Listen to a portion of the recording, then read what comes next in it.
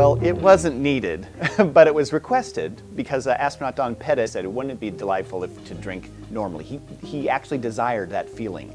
He said to avoid using a straw or for pressurizing a bag and drawing fluid in that way. And sometimes the astronauts do ask that from the ground. They, they want some feelings that remind them of Earth or, or that give them that feeling. And he said, hey, a coffee cup would be like this. We told him just what shape to make it. He was able to do that from materials that were on the space station, build it, test it.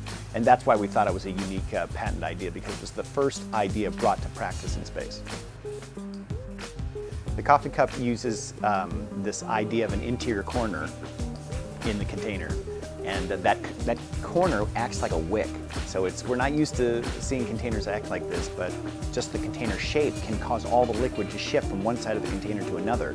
In the case of a corner, like in this cup that we made, it drives the fluid all up the length of the corner and will continue to do so if you remove liquid from one side. So as you draw the cup up to your mouth, you start to draw fluid into your mouth, the fluid continues to get replenished by the wicking characteristics of the corner itself. So it gives you this feeling like you're drinking from a cup on Earth, but you're not. The research was already completed before that and informed the coffee cup design. That's what's nice. The idea that interior corner, we use that to move massive amounts of liquids in containers in spacecraft. For instance, there's uh, thousands and thousands of pounds of liquid fuel that can be managed without a pump or anything, just with a clever shape of a tank.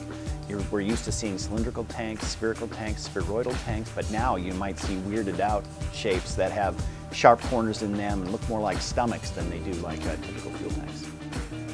So it, it's definitely a novelty and probably a vanity patent, but it is a fun, you know, kind of uh, uh, an idea, again, that with no moving parts to replicate the role of gravity, but in space.